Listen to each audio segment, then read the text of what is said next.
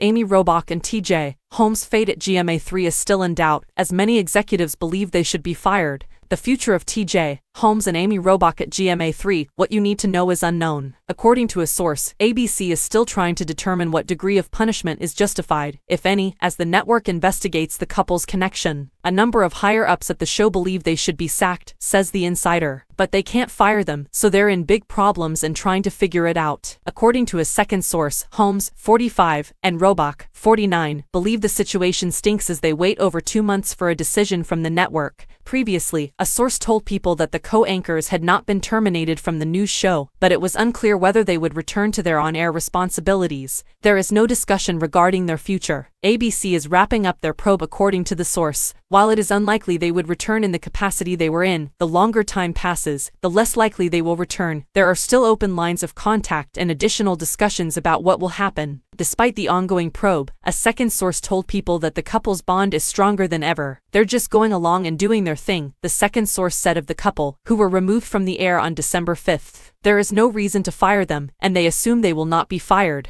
The network is simply waiting for the situation to calm down. This happens all the time in businesses. On Nav, 30 photographs of the TV personalities holding hands in a car during a trip in upstate New York and snuggling up at a bar in New York City prompted dating rumors. Holmes and Robach both deleted their Instagram accounts shortly after the photographs were published. Holmes and his wife, Marilee Fiebig, have since filed for divorce. Robach and her husband Andrew Shue do not appear to have filed for divorce yet, but according to a source, the couple separated in August. Holmes and Robach have not publicly remarked on their connection, however they referred to it during a December broadcast of GMA3, What You Need to Know. ABC News President Kim Godwin also addressed the news in an email to colleagues in December, stating that the two will stay off air pending the outcome of an internal assessment, with a rotating cast of anchors filling in. The ongoing coverage of the co-anchor's romance, she said, may be distracting from the tremendously important work our team does here at ABC News. I hope that we will continue to concentrate our efforts on what we do best, she added,